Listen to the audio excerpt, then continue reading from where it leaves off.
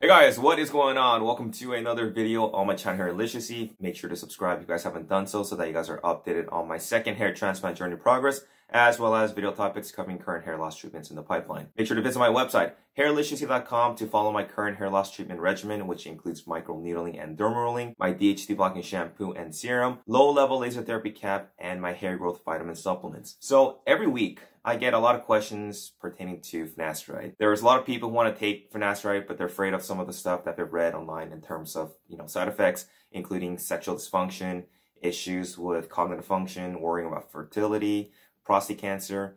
And it really doesn't help when you have a full forum full of people with post, you know, finasteride syndrome. And then you have Reddit posts on Tressless which talk about, you know, various side effects. I don't want anybody misinterpreting this video and thinking that I don't believe all these people who are claiming side effects from finasteride because I really do believe people experience various side effects and it's also the same case with any type of medication, especially from a hormone altering medication such as finasteride, which inhibits the enzyme 5-alpha reductase. And to our knowledge, that is actually one of the main causes of hair loss when testosterone is converted to DHT. The purpose of this video isn't to go over the side effects of finasteride but rather to show you guys the long-term studies that were conducted for 10 years on finasteride. Show you guys that most men who are using finasteride are not going to have side effects.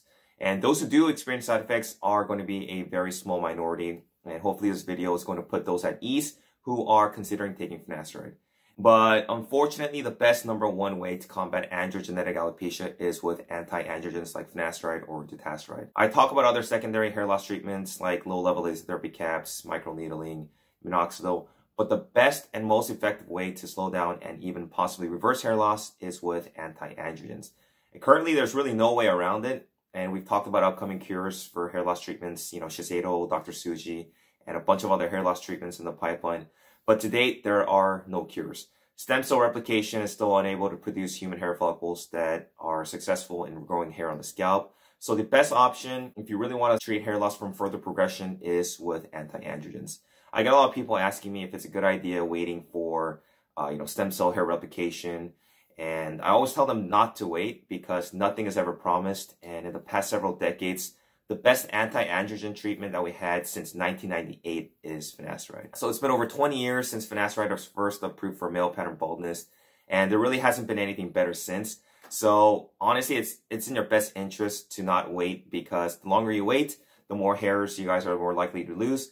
And the thing about treating hair loss is by being proactive. Prevention is key. Uh, the faster you guys actually try to do something about your hair loss, the better your outcome is going to be and the more hairs that you guys are going to be able to keep on your scalp. So let's go and talk about some of the long-term studies on the efficacy of finasteride as well as tolerability in men who have been taking them for 10 whole years.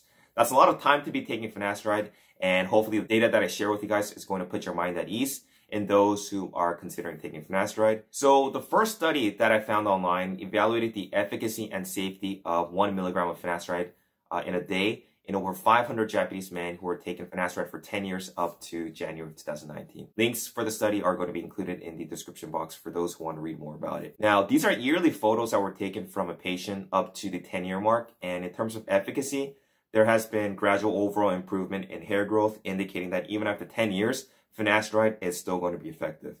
Here's another patient with scalp photos at the first visit and yearly, which also shows relatively good improvement over the decade of finasteride use. Now, in terms of objective efficacy, the study revealed improvement and prevention of hair loss progression in over 99% of the 532 Japanese men with androgenic alopecia who were treated with 1 milligram of finasteride for the past 10 years. The study also mentions that younger patients uh, showed more improvement than the older patients. So like I mentioned, earlier treatment is going to be key. Now, in terms of safety evaluation during the 10 years, there was no serious adverse reaction uh, that was recognized. Mild and temporary adverse reactions were recorded in 6.8% of the entire study population, and the main side effects were, you know, decreased libido, erectile dysfunction, and all the patients actually continued treatment for the next 10 years. So according to the study, less than 7% of the patients encounter side effects. So the one thing that I do want to add is that the incidences of decreased libido, uh, erectile dysfunction, sexual dysfunction have been known to increase in proportion to age. So the older you get, the more common these side effects are going to be. Uh, so that can also affect the percentile with those suffering from these side effects from finasteride. Overall, long-term treatment with 1 milligram finasteride demonstrated high efficacy and safety based on subjective and objective evaluations. And not surprisingly, men with lower grade hair loss showed greater improvement than those with a more moderate form of hair loss. So, like I said, the key is to be proactive and treating hair loss at a younger age. Now, the next study involves another 10-year follow-up of daily 1 milligram finasteride users suffering from androgenetic alopecia in different age groups.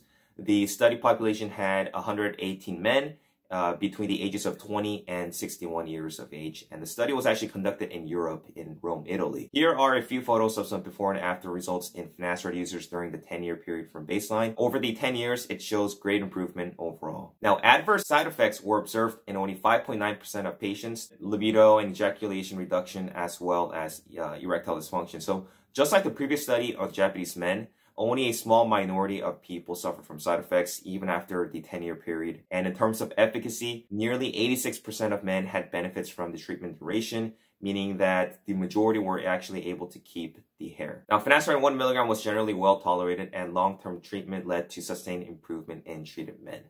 Now, the last study that I wanted to share with you guys is an evaluation of long-term efficacy of finasteride in 166 Korean men for a period of five years. According to medical records, only 7.9% of men experience sexual side effects, with the majority being decreased libido, erectile dysfunction, and decreased or watery semen. And aside from sexual side effects, one person had liver function abnormality, one had gastro issues, and the other had enlarged breasts.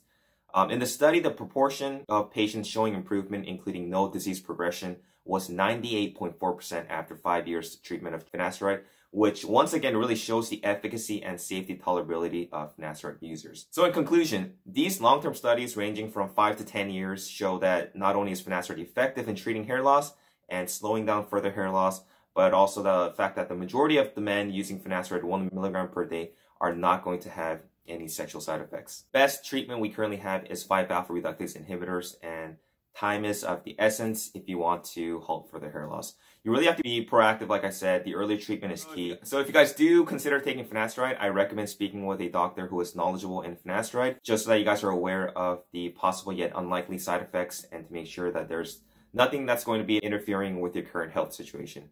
Uh, so I actually don't get paid to do these videos on finasteride by Merck, but rather I wanted to inform you guys the low chances of getting side effects from taking finasteride. So hopefully this video puts your mind at ease.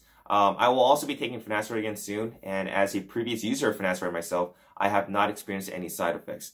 And if you guys were wondering why I stopped taking finasteride, um, I'm actually going to be going back on finasteride once my wife conceives. So I'm going to be keeping you guys posted once I get back on finasteride.